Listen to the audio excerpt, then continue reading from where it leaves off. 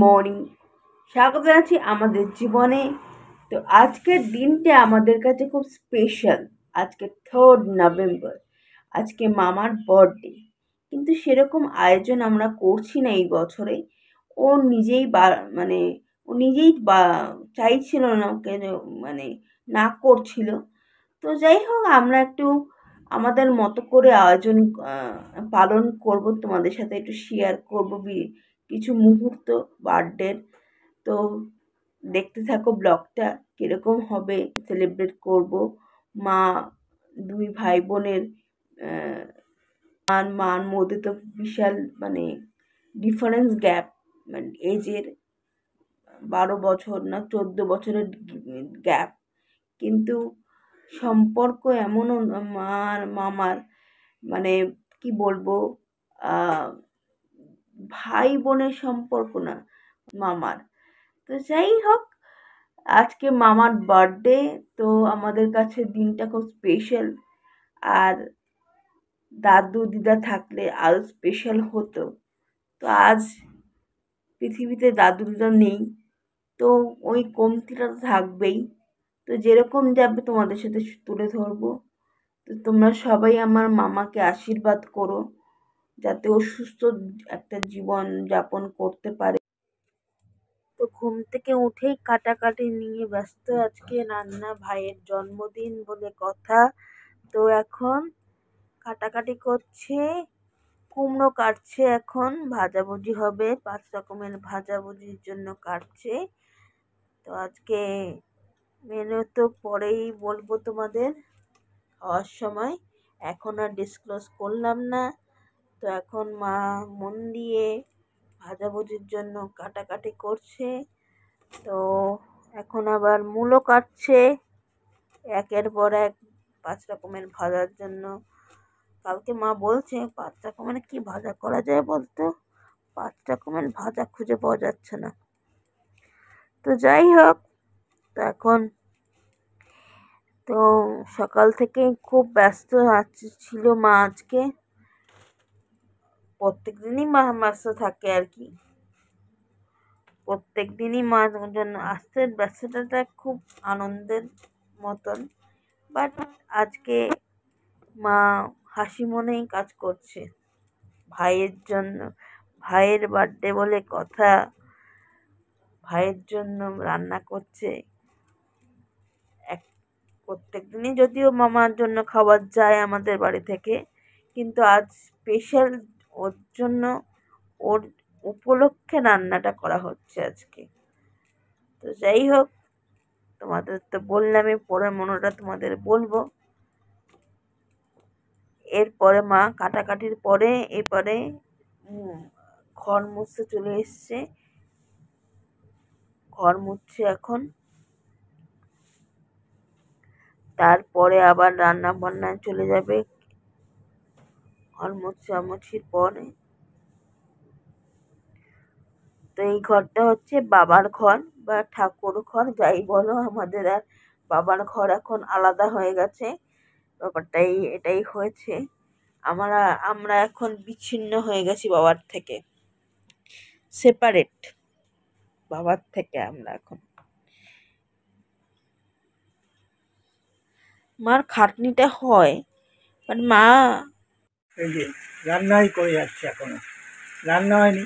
রান্না করতে একটু সময় লাগছে আজকে। তো আসলে আজকে আমার ভাইয়ের জন্মদিন মা বাবা তো নেই। আজকে সকাল থেকে একটু মনটা খারাপই লাগছিল। তবুও ভাইকে বলেছি যে এই বছরটা ওই কোনো রকমেই একটু ওর বার্থডেটা পালন করব আর কি, জন্মদিনটা। বাবা মা থাকলে যে আনন্দ হতো, আর ওর জন্মদিনটা না ছোটবেলা থেকে বেশ বড় করেই হতো, বাবা মা করতো আর কি। বড় হওয়ার সাথে সাথে সেইভাবে আর হয়ে ওঠেনি। তো কিন্তু আমরা মানে একসাথে বসে সবাই মিলে ভাত খেতাম।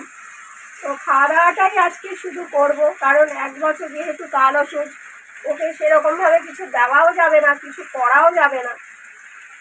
ওই জন্যই যতটুকু না করলেই নয়।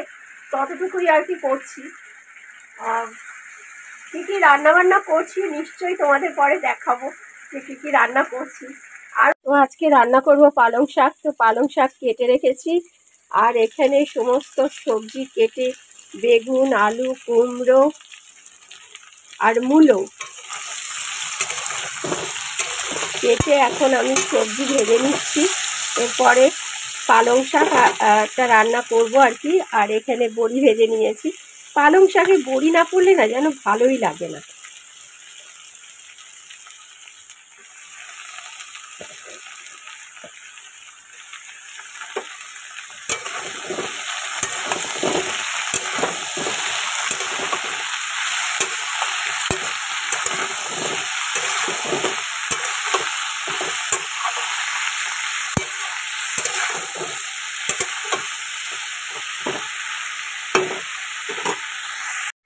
কিছুক্ষণ আগে আমি বাড়ি ফিরলাম।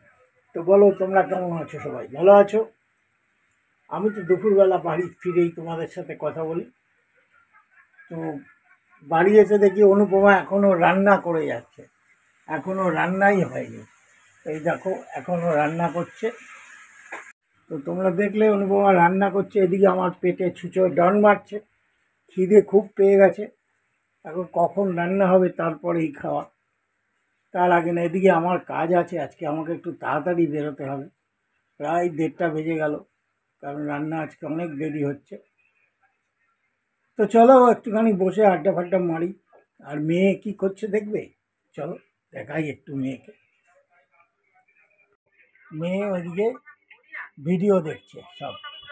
তো এই হচ্ছে মেয়ের কাজ। স্নান করে ঠাকুর পুজোটা দিয়ে নিয়েছি। ঠাকুরকে ভোগ নিবেদন করে দিয়েছি। বসি দেখি কখন খাবার দেয়। তারপরে খেয়ে দিয়ে উঠে আমি বেরোবো।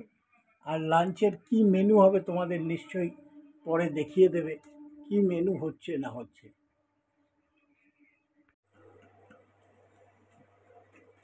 কেমন? ঠিক আছে বাবান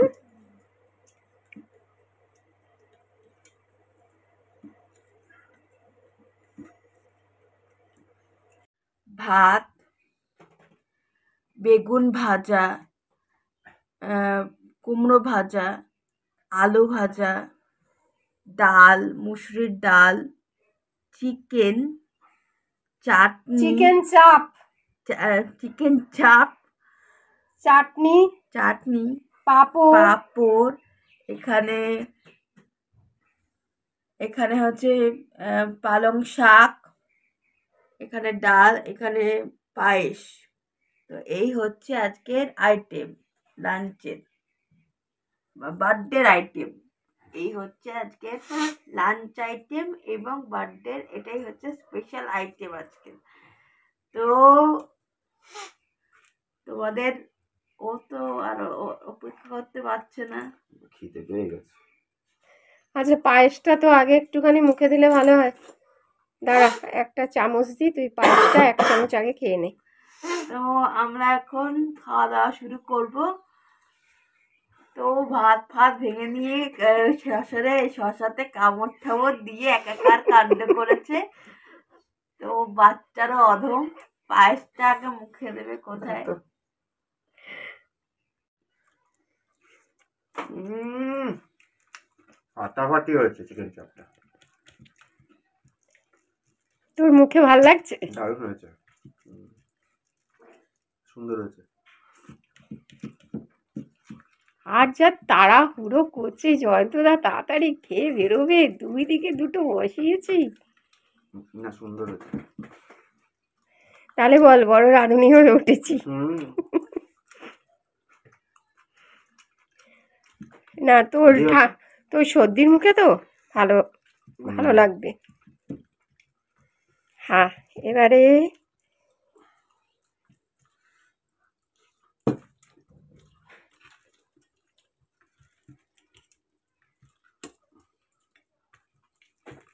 আজকে আমি তোকে হ্যাপি বার্থডে বললাম। Happy birthday wish thank you R happy birthday happy birthday to you happy birthday to you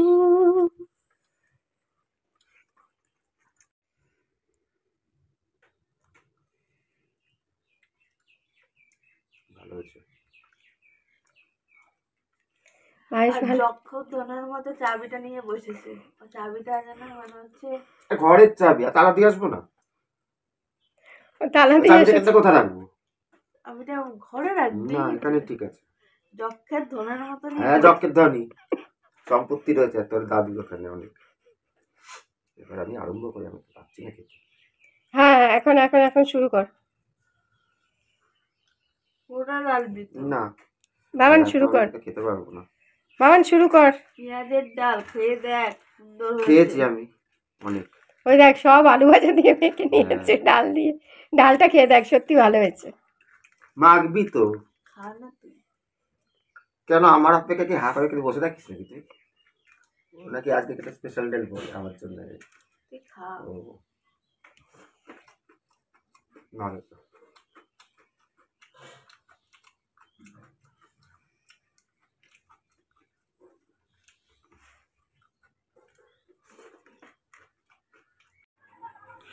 তো। দুপুরবেলা এসে বলল আমাদেরকে মামা যে ও সকাল সকাল বাজার গিয়েছিল দাদু দিদার জন্য, ঠাকুরের জন্য মালা আনতে তো এই আমরা রাত্রিবেলা, সন্ধেবেলা আর কি গেছিলাম মামা বাড়িতে তো দেখলাম দাদুর ফটোতে, দিদার ফটোতে মালা পরানো তো দেখে এত ভালো লাগছিল আবার দুঃখ লাগছিল ফটোটা ভালো লাগছিল বাট মনে মনে খুব দুঃখ পাচ্ছিল। বাড়ি থেকে এসে মা ডিনার সার্ভ করল আমাদেরকে। তো আমরা এখন ডিনারটা কমপ্লিট করলাম। তো আজকে দাদুর অ্যাবসেন্সটা দাদু দিদা দুজনেরই অ্যাবসেন্সটা খুবই অনুভব করছিলাম।